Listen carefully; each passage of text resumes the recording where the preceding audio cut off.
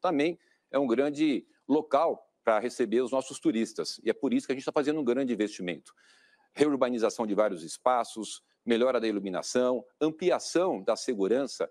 Só para vocês terem uma ideia, eu fiz o concurso da Guarda Civil Metropolitana e nós temos 2 mil GCMs a mais. E as reurbanizações. O prefeito deve ter falado do centro de outra cidade. O centro que ele viu é um centro que não existe em São Paulo. É um centro que ele arrasou na capital de São Paulo, não só o centro especificamente, onde é, pessoas criaram as suas famílias, netos, tataranetos dependiam dali e fugiram dali por causa é, do crime organizado infiltrado na Cracolândia. Não é só a Cracolândia. São Paulo está destruída. É, Nunes, você gastou praticamente 6 bilhões de reais em obras sem licitação e sem planejamento. E eu acho que São Paulo merece saber, é um respeito que você tem que ter com o cidadão. Quem é Pedro José da Silva, qual a sua relação com ele e a da prefeitura com ele? Olha, o Boulos, acho que você tem que responder quem é Janones. Você precisa responder quem é Janones. Que você instituiu a legalização da rachadinha. Você precisa responder quem é Nicolás Maduro. Você precisa responder tantos nomes, Boulos. Bom, Guilherme Boulos é que eu escolho. O Nunes quer nível, mas ele ataca também e ataca com a pior das coisas do ser humano, que é mentira. Boa parte do que ele falou é pura e execrável mentira que está sendo apurada pelo Ministério Público, órgãos de segurança de São Paulo. Se provar que tem ônibus do PCC, e ele diz que não sabe de nada, porque no meu governo ninguém vai sentar bunda em ônibus do PCC. Se aprovarem as ilicitações dele, são 70% com base em concluio, é, e licitações, inclusive, com, com convênio. É? Se aprovarem essas mentiras, ele vai para a cadeia. Agora, a pergunta ao Boulos, ela é simples, tranquila e normal. Diz-me com quem tu andas, que eu direi quem tu és. O Nunes falou que você anda com a rachadinha. Deixa eu responder. A palavra Deixa eu responder. Você vai interferir aqui? É essa a sua democracia? O seu tempo, o seu tempo é, candidato, foi encerrado. Não, mas favor, ele me interrompeu. O seu, o seu, tempo foi encerrado. Ele me interrompeu. Termina a pergunta para o candidato Boulos, por favor. Quando eu falei também de, de gente mal acompanhada, ele citou e você anda de braços dados lá na comissão de ética é, com o Jean Nunes da Rachadinha. Era isso que eu ia completar em relação ao Ricardo Nunes. Depois eu quero saber se você é democrata, porque parece que não é quem apoia a Maduro e a ditadura da Venezuela. Você devia ser prefeito lá em Caracas, pô.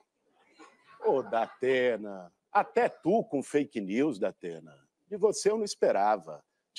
Então eu trago, candidato, uma pergunta simples, mas muito importante. Qual é a sua opinião? Você é contra ou a favor da Operação Água Branca? Você pode esclarecer o que é a Operação Água Branca? Deve ser algum bandido de esquerda que deve estar envolvido nisso aí. Bem, para ser. Posso não virou aqui. A sua Boa. réplica. Para ser prefeito de São Paulo, tem que estudar. Acho que até o Nunes, que não fez nada pela operação, pode lhe explicar, mas é uma operação urbana na região oeste e norte. Vou mudar o tema para segurança. O candidato que está ao meu lado foi condenado por formação de quadrilha no esquema de fraudes bancárias. Eu queria saber o que ele fará para proteger os idosos que vivem caindo em golpes de WhatsApp como esse. Ele também é investigado pela Polícia Federal por falsidade ideológica, apropriação indébita e lavagem de dinheiro. E nós soubemos nessa semana que o maior aliado que ele tem, que é o presidente do partido dele, confessou, falou num áudio que é ligado ao PCC. Então, minha pergunta é muito simples. Você pretende usar a sua experiência no mundo do crime para cuidar de São Paulo, para fazer política pública em segurança? Ô, Tabata, deixa eu te falar uma coisa. Você precisa estudar além da headline. Você parece até uma jornalistazinha, militante. Manda a sua próxima pergunta. Esses politiqueiros aqui, todos eles, estão aqui para fazer graça. Essa adolescente que está aqui, que vive falando, que representa as mulheres, essa adolescente precisa amadurecer um pouco. Silêncio. Tem como parar o tempo, já que estou incomodando aí? O senhor tem. Pode bater o tanto que foi. Eu sou o próximo prefeito da cidade de São Paulo, vou conquistar seu coração. Você que está aqui nessa cidade, Se quiser a cidade merda que tá hoje, continua com o Ricardo, que tem perfil para prefeito. Se você quiser uma merda de Venezuela, olha a cara daquilo ali, ó. dá uma olhada naquela cara daquele comedor de açúcar ali. Continua acreditando nisso. Esse é apoiador de ramais, de grupo terrorista. Um cara desse aí, ó, ninguém tá falando da sua índole, não. Você não come açúcar, caramba. Cara não cuida da saúde dele, vai cuidar da sua.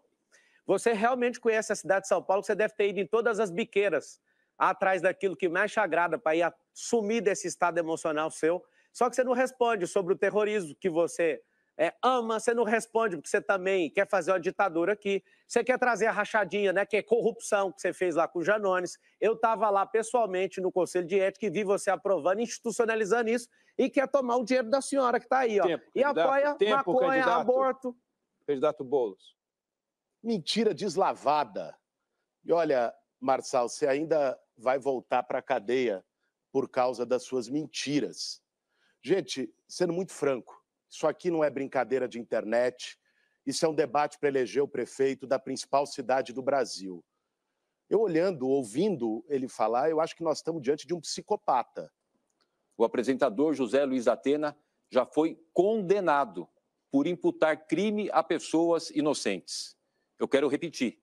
O apresentador José Luiz da Atena já foi condenado por imputar crimes às pessoas inocentes. A honra da pessoa não pode ser atacada. Tá claro o joguinho que ele está fazendo ali com Bolos. É um grande apresentador, quase 30 anos. Aqui não é, aqui não é um programa de televisão.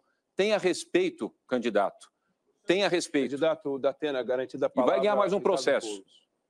Detalhe rápido que o senhor disse que eu fui condenado em vários processos. Fui sim, principalmente condenado acusando bandidos que teriam é, cometido crimes que, na realidade, julgados pela justiça, foram considerados alguns inocentes. Nem toda decisão judicial é justa. Mas quando o senhor é acusado de bater na mulher, o senhor pega e, e- e fica todo aí arrepiado, inclusive com a sua família. Então, e se você me- me der um processo, vai ser uma maravilha você me processar, porque eu vou pendurar lá no, no- no quadro pr- principal da minha casa, que é uma honra ser processado por gente como você. Eu preciso lhe fazer uma pergunta como a única candidata mulher que está aqui. A sua esposa lhe acusou de ter sofrido agre- agressão. Registrou um boletim de ocorrência Queria pedir à na plateia que não delegacia se da mulher. manifestasse, por favor. Se Por favor. tomar os cinco segundos. E toda mulher sabe que essa é uma decisão muito difícil. Numa sabatina do UOL, você foi questionado sobre isso e disse que o BO tinha sido forjado. No dia seguinte, a Polícia Civil lhe desmentiu. Colocou um comunicado dizendo que o BO era verdadeiro. São Paulo não merece um prefeito que mente e que é agressor de mulher. Então, eu lhe pergunto, e a pergunta é sim ou não. Você mentiu ou não mentiu no UOL? Olha, é, Tabata, eu nunca levantei um dedo para minha mulher. Nunca levantei um dedo para minha mulher, que inclusive está aqui. Estamos juntos há 27 anos, três filhos. Minha filha está aqui, a Isabela, o Ricardinho, a Maiara. Sou vô de um netinho lindo de dois anos.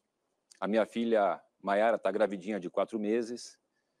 Eu não esperava de você um um nível desse. Qual